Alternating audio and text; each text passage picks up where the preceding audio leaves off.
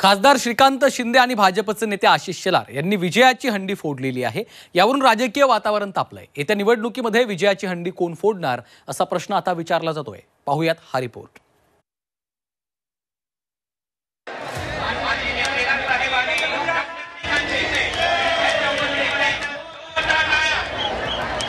मुंबईत दहीहंडीवरून राजकारण.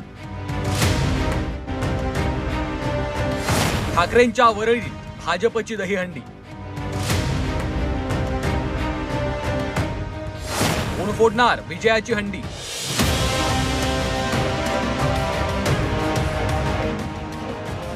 विधानसभा निवडणुका तोंडावर आल्यानं सर्वच राजकीय पक्षांनी जोरदार कंबर कसली आहे. त्यातच आता दहीहंडीवरनं राज्यातलं राजकीय वातावरण तापण्याची शक्यता आहे. खासदार श्रीकांत शिंदे आणि भाजपचे नेते आशिष शेलार यांनी आगामी विधानसभेच्या विजयाची हंडी फोडली. येत्या निवडणुकीत महायुतीच्या विजयाचा विश्वास शिंदे आणि शेलारांनी व्यक्त केला आहे ही विजयाची हंडी फोडल्यावरनं आता राजकीय वर्तुळातून जोरदार प्रतिक्रिया उमटल्यात. संजय राऊतांनी या कार्यक्रमाचा आपल्या स्टाईलमध्ये समाचार घेतलाय. त्यांची हंडी फुटणारच आहे. ते लटकणारच वर. हंडी फोडता फोडता शेवटच्या थराला का त्यांना जाता येणार नाही.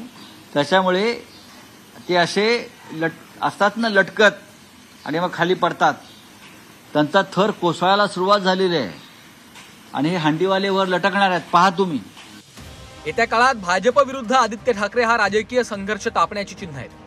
आदित्य ठाकरेंच्या वरळी मतदारसंघात सक्रिय होऊन भाजपनं रणनीतीला सुरुवात केल्याचं बोललं जात आहे वरळीच्या जांभोरी मैदानावर भाजपनं दहीहंडीचा कार्यक्रम आयोजित केला होता. यात अफजल खानाच्या वधाचा देखावा साकारला होता.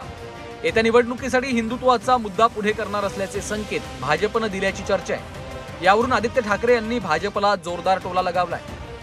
अफजल खानाचा देखावा जो आहे तो त्या ठिकाणी विशेष आकर्षण ठेवलेलं आहे. जांभोरी मैदानामध्ये अ, दहीहंडीचं आयोजन करण्यात म्हणजे भाजपबद्दलच बोलतात जे अफजल खानासारखे चालून येतात महाराष्ट्रावर त्यांच्याबद्दलच ते बोलत आहेत? मुंबईत भाजप विरुद्ध आदित्य ठाकरे हा संघर्ष अधिक तीव्र होण्याची चिन्ह आहेत. आदित्य ठाकरेंना त्यांच्याच वरळी मतदारसंघात मात देण्यासाठी भाजपच्या हालचाली सुरू झाल्यात. दुसरीकडे राज ठाकरेंनीही वरळीमध्ये मनसे उमेदवार देणार असल्याचं जाहीर केलंय. त्यामुळे वरळीतली लढत आदित्य ठाकरेंसाठी निश्चितच सोपी राहिलेली नाहीये. त्यामुळे विजयाची हंडी कोण फोडणार हे पाहणं आता महत्वाचं असेल. ओम देशमुख झी चोवीस तास मुंबई.